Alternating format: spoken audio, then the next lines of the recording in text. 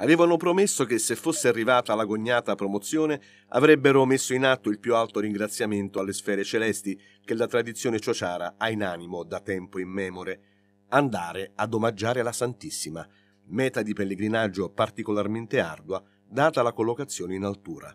La promessa l'aveva lanciata sui social l'avvocato Ceci insieme ad Alessandra Di Legge appena terminata la fatidica partita contro il Palermo.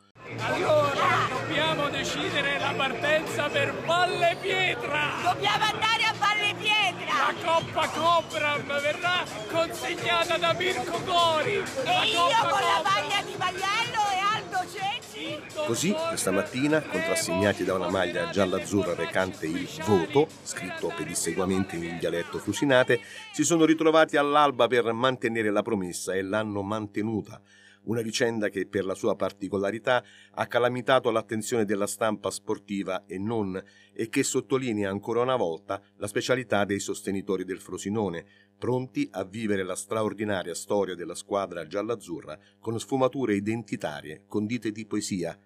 Non a caso tra i pellegrini c'è il consigliere comunale di Frosinone, Stefano Pizzutelli, noto per i suoi sonetti dedicati ai leoni, oltre ad altre note personalità della vita associativa e politica del capoluogo e dintorni.